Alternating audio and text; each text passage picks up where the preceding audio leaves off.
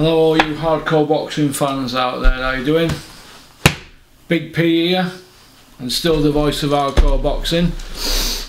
Right, we've got some intense beef on social media.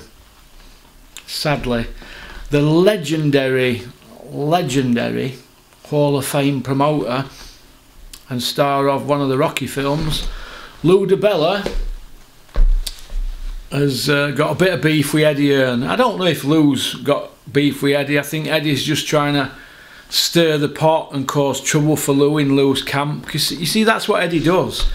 He did it at school, didn't he, and got expelled. And he, he's doing it with other promoters now. He's a rascal, isn't he, Eddie? He's a cheeky chappy, isn't he? Cheeky Nando's, plot up, apples and pears and all that. He's a cheeky chappy, but the moral of the story is this Amanda Serrano looks like she's took the bait, hasn't she? She's took the bait on social media and she's questioning Lou, DiBella's integrity or I don't know. I, I'm only going on the, the couple of screenshots that somebody sent me because I am not on Twitter. Now, if people want to send me any more screenshots, send me them. Porkycorner at mail.com, not Porky's.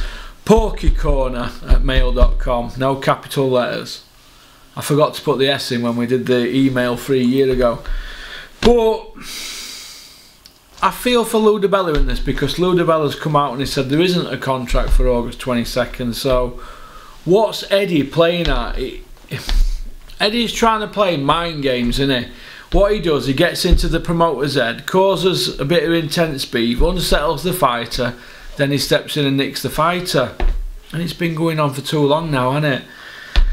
And the reason I know this is because in 34 year Matchroom I've had one world champion that's not been from the Team GB setup. One. And that were Herbie Hide. They've had that's that's been from debut. They've had no world champions that are from Britain. None from debut that didn't go to Olympics and weren't part of the Robert McCracken setup.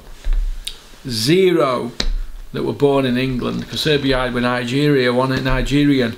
All the other 50 champions that they've had, they've pinched. The work's been done for them. It's like Sky give them the platform, DAZN give them the platform, Robert McCracken gives them the fighters from the EIS, and the rest of them they pinch. When are they going to do something with debut? When are they going to build somebody up who's like a Dave Allen or a Sam Eggington, when they're going to get them world titles? Because they keep going, don't they? They keep recycling them, don't they? But they're not going to win world titles, are they? So when are they're going to do that? Why don't they get Liam Smith a world title? Can't get him a world title, can they? And he's already been a world champion. It's alright nicking other fighters and unsettling other fighters, but you come unstuck, don't you? And a bit disappointing from Eddie, really trying to play God above everybody else, trying to lord it over everybody. So I'm Team Lou DiBella on this. Team Lou! Team Lou! So let's get behind Blue Lou and let's hope that he comes out this the other end because he's up for a battle in. Anybody who don't believe me, go and Google Lou DiBella, Bernard Hopkins uh, when they went to court and Lou, Lou sued him and won in court. So he stood up for what he, he believes in. So Lou my kind of guy. He's a proper stand-up bloke. Proper stand-up. Whereas Eddie, well, we know what Eddie is, don't we? We know, don't we? He's he's had it all on a plate, and he really silver spoon boy. He's had it on a plate, but I don't know what what uh, what uh, Eddie's problem is. Is it small dick syndrome? Because we all know that he's packing a peanut in them knickers, don't we?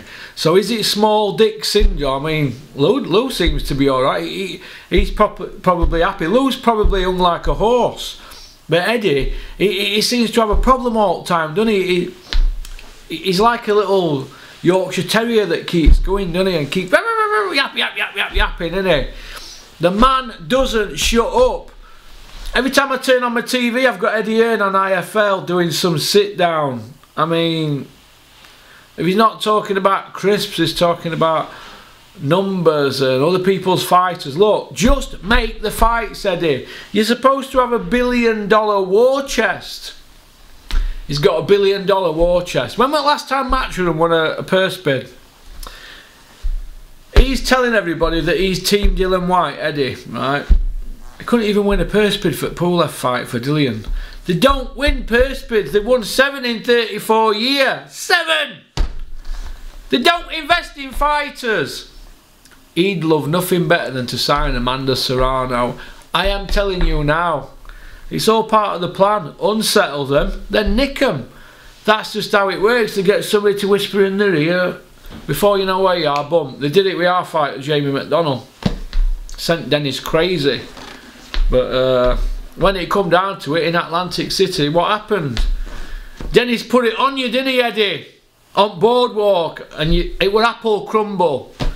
You panicked, your ass fell out. Squeaky bum. So that's how I look at it. So, Team Lou DiBella. Team Lou! So peace out, keep on trucking, keep supporting boxing. Don't have nightmares, alright? But get behind Lou DiBella. He is a genuine, genuine bloke. He wears his heart on his sleeve, Lou DiBella. He's a proper bloke who I'd love to meet one day. Whenever you come over to UK, Lou, give Big Porky a ring. You've got my number. Peace out.